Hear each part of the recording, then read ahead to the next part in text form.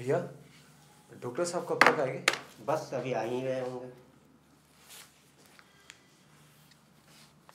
ये ये आ गए। गुड मॉर्निंग गुड मॉर्निंग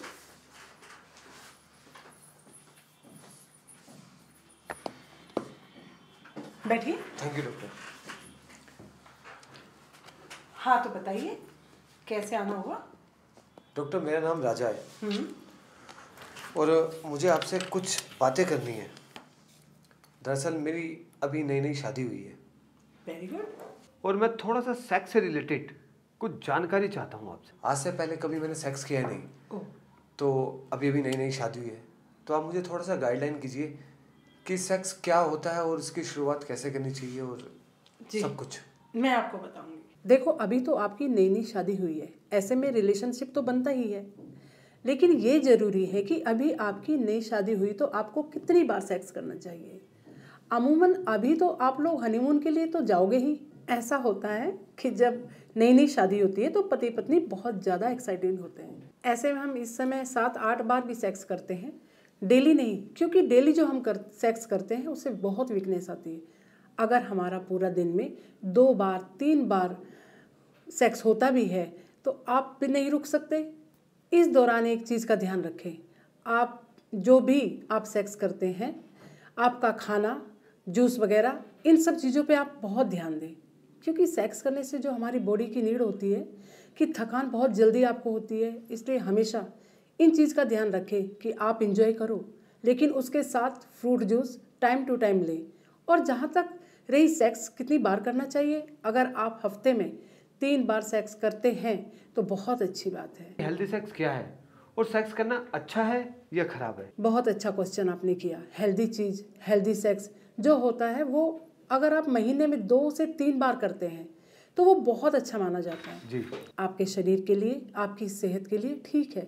लेकिन अगर कभी उससे ज़्यादा भी हो जाता है ऐसा नहीं कि वो नुकसानदायक है। अगर माना जाए तो 18 से 20 साल की एज में एक साल में 100 से 10 बार सेक्स होता है और 112 बार होता है तो वो हेल्दी सेक्स है।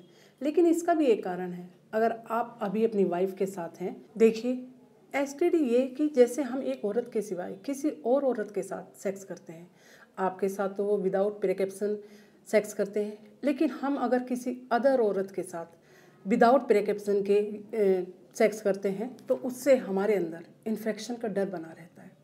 सेक्स करते वक्त हमेशा प्रिकॉप्शन लेना चाहिए। प्रिकॉप्शन ना लें तो कॉन्डम यूज़ कर लें। क्योंकि अगर हम हस्बैंड वाइफ सेक्स कर रहे हैं तो अच्छी बात है। हम किसी भी तरह सेक्स कर सकते हैं। कैसा होता है कि हस्बैंड वाइफ अगर सेक्स कर रहे हैं तो कभी भी प्रिकेप्सन यूज़ करते ही नहीं। लेकिन अगर किसी और के साथ कर रहे हैं तो प्रिकेप्सन ज़रूर यूज़ करना चाहिए। नहीं सेक्स करना अच्छा होता है।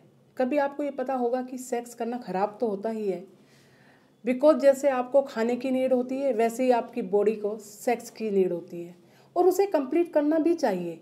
कभी कभी ऐसा होता है, अगर आप निकलते हैं और आप न्यूज़ वगैरह पढ़ते होंगे तो आपको ये पता होना चाहिए, बच्चे पैरालाइज हैं तो विकलांग हैं, जो नहीं चल पाते और वो सक्षम नहीं है तो किसी फ़िज़िकल रिलेशनशिप बना सके तो उनके घर वाले खुद लेकर जाते हैं।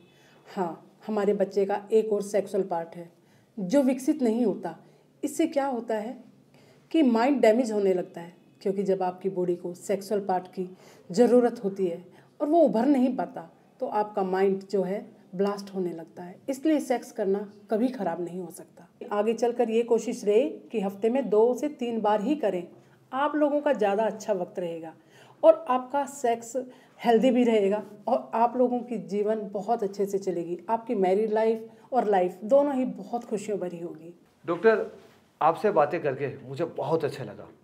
और मेरी कुछ जो उलझने थी ना वो सुलझ गई है। और अब मैं नई नई शादी का लुत्फ भी उठा सकता हूँ। डॉक्टर सच कह रहा हूँ आपसे मिलकर जो खुशी हुई है मेरी सारी समस्या का समाधान हो गया। Thank you so much okay